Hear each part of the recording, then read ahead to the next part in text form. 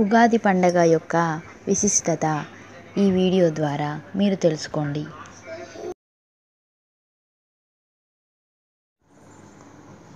కొత్త సంవత్సరం ప్రారంభమైన సందర్భంగా జరుపుకునే పండగే మన తెలుగువారి పండగ ఉగాది పండగ.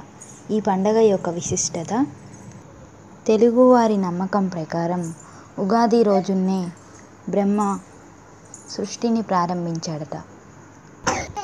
మన గ్రంథాలల ప్రకారం మనకు ఒక సంవత్సరం గడిస్తే అది బ్రహ్మకు ఒక రోజు. పూర్వం సోమకాసురుడు అనే రాక్షసుడు బ్రహ్మ వద్ద నుండి వేదాలను దొంగిలించాడట. సముద్రంలో దాక్కున్నాడట.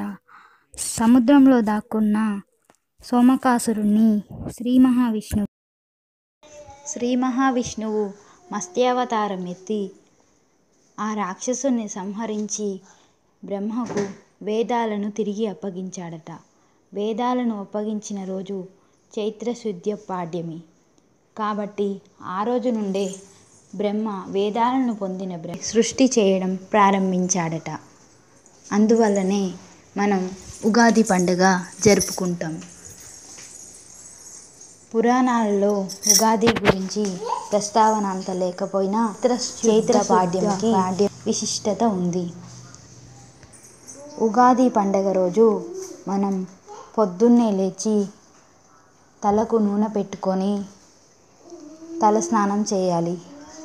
నూనెలో లక్ష్మీదేవి అలాగే నీటిలో గంగాదేవి కొలువై ఉంటారట. పర్వదినాలలో తలస్నానం చేయడం వల్ల మనకు శుభం జరుగుతుందని పురాణాల్లో ఉంది. అలాగే ఉగాది పండగ రోజు పండగ రోజు ఇంటిని మామిడి తోరణాలతో అలంకరించుకోవాలి. అలాగే పట్టు వస్త్రాలు ధరించి దైవ దర్శనం చేసుకోవాలి. ఆరు రుచులతో కూ పచ్చడి తినడం వల్ల మనకు మంచి కలుగుతుందని నమ్మకం.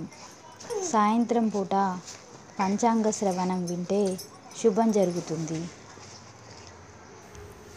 Thank you for watching Lalitha all in one creations. మరెన్నో వీడియోస్ కోసం నా ఛానల్ని సబ్స్క్రైబ్ చేసి సపోర్ట్